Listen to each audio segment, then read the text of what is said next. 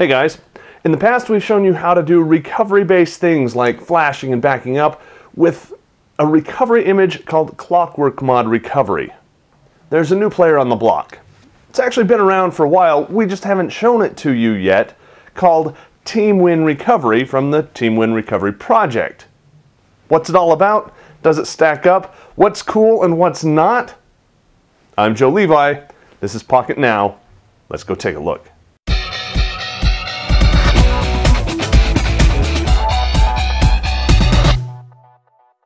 So here we've got the Nexus 4. I am booted up now into fast boot mode and I've just flashed Team Win Recovery and I'm ready now to reboot into recovery mode. So let's go ahead and do that. So you can see the first boot.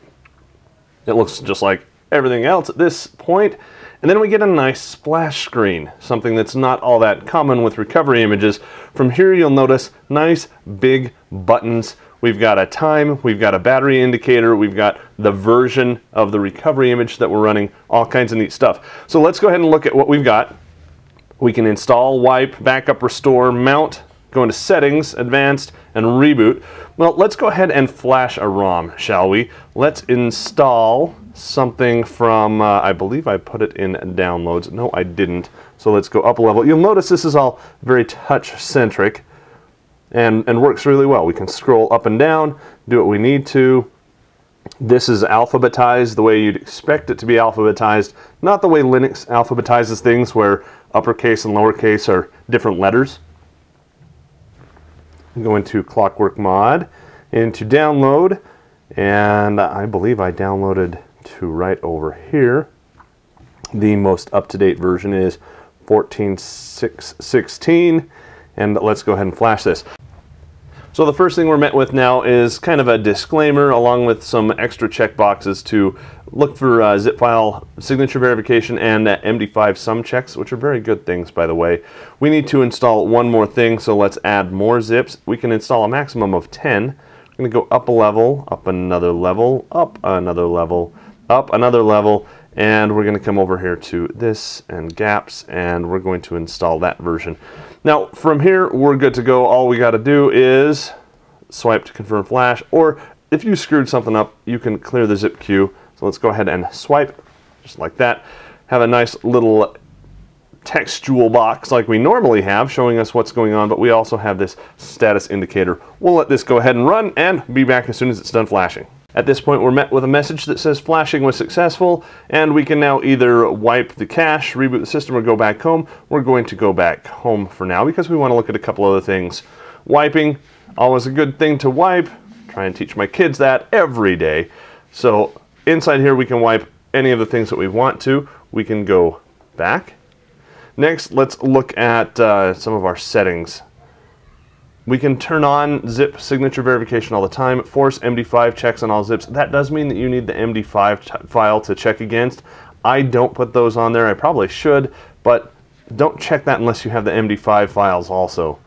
Uh, option to use RM-RF instead of formatting. Skip MD5 generation during backup. Don't do that. Enable MD5 verification of backup files. Yes, do that. Ignore image size errors during backup. Ooh, don't do that. And simulate actions for theme testing. Yes, this is themable. We can also set our time zone in here, so kind of cool. Look at a little bit more stuff. Advanced. We can copy logs to our SD, fix permissions. This is something that you should do anytime you flash and you're running into errors, just weird things that are happening, force closes, fix permissions. It usually will go in and resolve a lot of your headaches for you.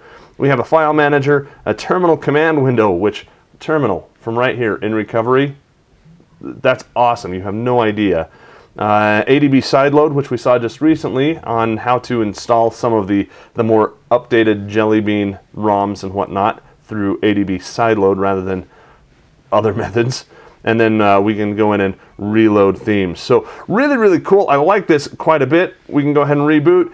It's Team Win Recovery. It's a lot more user-friendly than Clockwork Mod Recovery is. If you haven't flashed anything yet as far as a recovery ROM, this is probably the one I would recommend. You may want to stay away from theming it because anytime they do major updates to it, you need to turn off your theme before you install the update. Just a little uh, caveat there that I've seen in some of the discussion forums.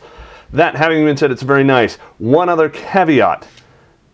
This probably isn't going to work with ROM Manager. So if you use ROM Manager to install all of your nightly builds of your favorite custom ROM, you're probably going to have to flash those manually rather than going through and doing it automatically like you would with Clockwork Mod Recovery. Overall, really cool. Thanks for the suggestion, guys. We really appreciate it. If you like what you saw here, give the video a thumbs up if you're watching it on YouTube. If you have any questions or comments, head over to pocketnow.com. Of course, we'll have links to all of this stuff so you can go out and download and uh, get it all for yourself, try it out, and use it on your own device. They do support a wide variety of devices over there. Again, that's over at pocketnow.com. I'll have a link to that down at the bottom of the YouTube video if you're watching this on YouTube. For Pocketnow, I'm Joe Levi. Thanks very much for watching.